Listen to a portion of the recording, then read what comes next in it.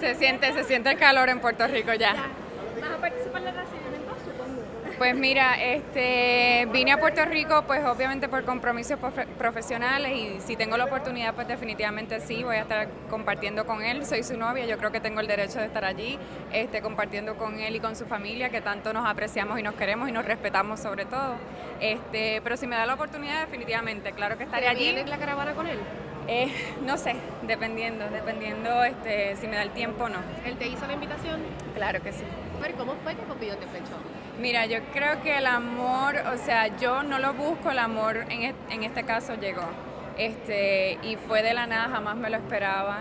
eh, y poco a poco fue calando más y más adentro de mi corazón y hoy día, o sea, es otra cosa. Creo que tenemos una relación hermosa que independientemente, o sea, la vamos a defender contra viento y marea, ¿sí me entiende? Este, cuando dos personas se aman, ellos van a tratar de mantenerla viva, aunque el agua esté aquí, uno aprende a respirar bajo el agua. Pero- Sí, sí, mi familia han tenido la oportunidad de conocerse y te digo, me encanta que, que, que, pues, o sea, compartamos los mismos valores, que compartamos las mismas formas.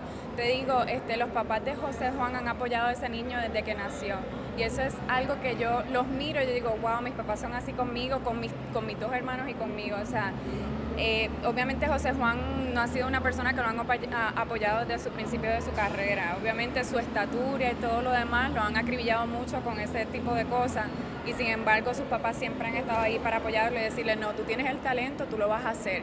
Y hoy día todas esas personas van a tener que decir, wow, ok, hay que decirle usted, tenga este nene. O sea, es como revivir el momento que mis papás sintieron, este, la alegría de representar un pueblo, una bandera, un idioma, una cultura. O sea, eso es algo grande. Yo le digo, José Juan, esto pasa una vez en la vida y a lo mejor tú tienes la oportunidad de volverlo a hacer en, en futuros años, pero ninguno como el primero. Que así disfrútatelo al máximo que esto es una vez. Esos comentarios de que Zuleika está como el arroz blanco, que está como por todas partes.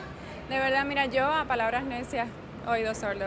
Yo soy una mujer que ha luchado por las cosas que tengo, no le debo nada a nadie. O sea, tengo mis cosas, tengo mi trabajo. Antes de conocer a José Juan tuve un nombre y, y era una mujer, o sea, era una persona.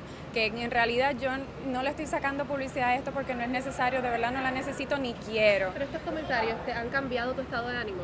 Mira, siempre y cuando, siempre y cuando obviamente afecta, porque pues me da pena que, que, pues algunas personas tengan tan corta memoria y se hayan olvidado de que en el 2006 esta mujer que está aquí también trajo alegría a Puerto Rico y hizo reír a muchos puertorriqueños y hizo cambiar hasta cierto punto. Exacto.